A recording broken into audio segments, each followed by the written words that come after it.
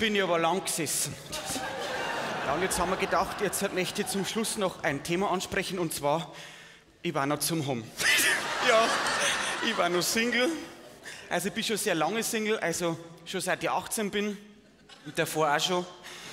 Aber wissen Sie, seit ich 18 bin, wird das einfach ein bisschen zur Belastung. Und jetzt nicht für mich, sondern für meine Oma und für den alten Club bei uns im Dorf. Weil wissen Sie, wenn man mit 25 im Bayerischen Wald noch keine Beziehung hat, dann zündet für dich der alten Club eine Opferkerzen ab.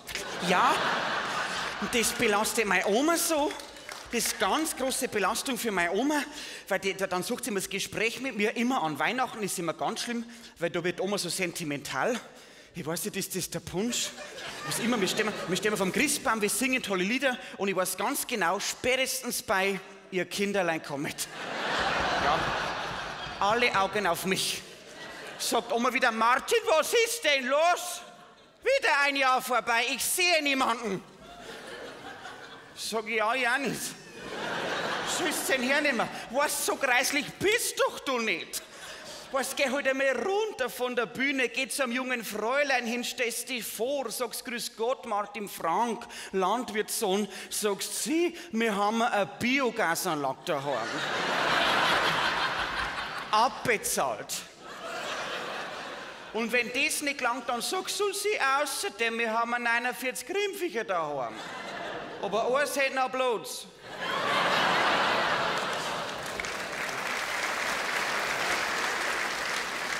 Da muss ich sagen, das wundert mich eigentlich, dass meine Oma überhaupt mit so einem Thema daherkommt. Weil, sagen wir uns ehrlich, aber am Bauernhof, da redet man nicht so über Liebe. Da wird man auch nicht aufgeklärt.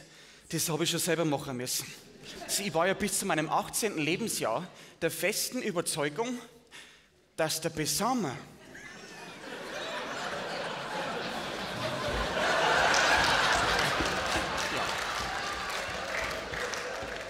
mein leiblicher Papa ist.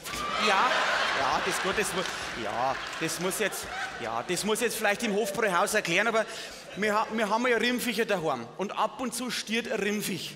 Aber wir haben keinen Stier daheim, sondern unser Stier heißt Obermeier Karl. Ja. Und der Papa ruft er dann an, dann kommt er vorbei, zieht einen ganz langen Handschuh, der gebiss er auf, dann gelangt er hinten in die Kuh rein, rührt um.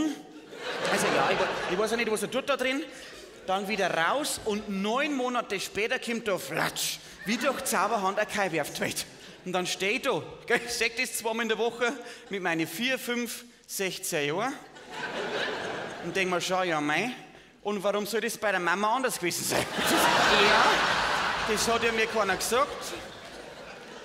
Und meine Oma hätte ja so gern, dass ich mir Sonnleitner Katharina nehme, aber die hat sich noch nie für mich interessiert.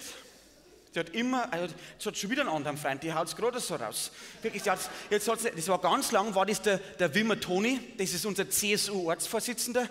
Jetzt hat es einen Weber Alfons, das ist unser Feuerwehrkommandant, von dem ist sogar schwanger. Geil. Das wollte eh schon lange, aber beim Toni hat es nicht hingehauen. Und das verstehe ich auch, weil wissen Sie, so ein Feuerwehrkommandant kann besser mit einem Schlauch umgehen wie ein CSU-Ortsvorsitzender. Ich muss sagen, mal ehrlich, der hat ja da Ausbildung dafür. Und, und meine Oma, meine Oma sagt immer, mei, wenn der Tag nicht geht, war Tefensblöd.